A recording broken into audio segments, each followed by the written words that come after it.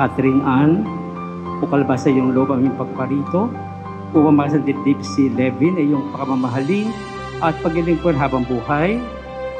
Yes, Father.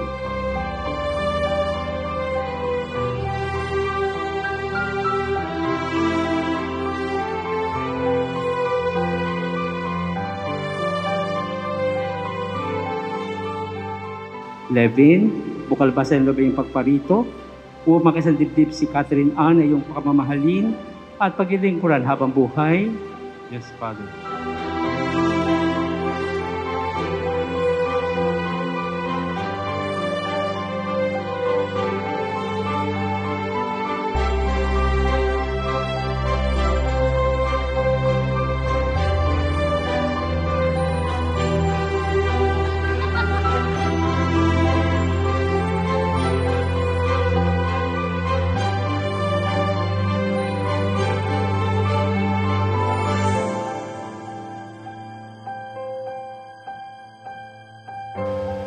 Araw, ako ay nangangako na maging tapat at mapagmahal na asawa hanggang sa aking huling hininga.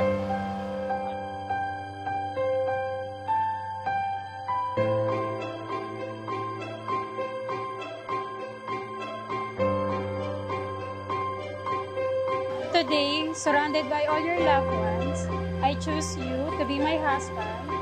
Ipinagmamalaki kong maging asawa mo at nakasal sa'yo.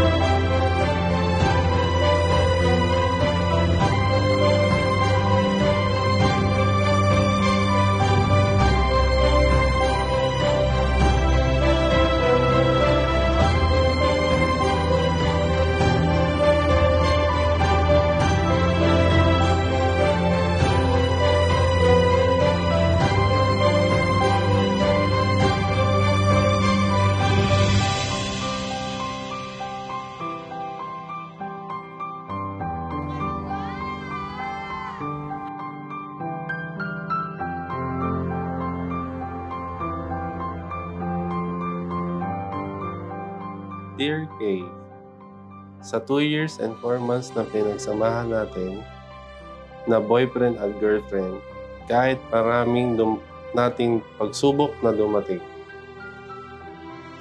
hindi tayo bumitaw. Masaya ako magkasama tayo habang buhay. Na-excite ako makita kita ngayong sa araw ng kasal natin.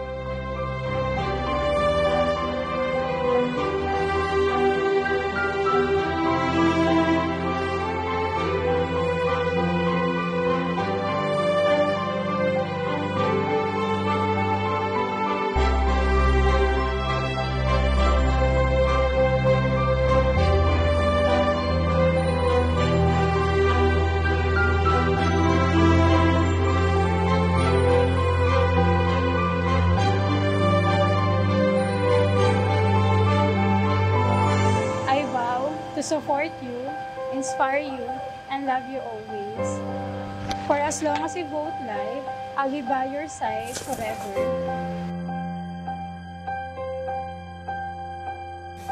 Ngayong araw, ako ay nangangako na maging tapat at mapagmahal na asawa hanggang sa aking huling hininga. Levin, Catherine Ann, be faithful to one another, be fruitful in your love, and above all, be faithful to the Lord.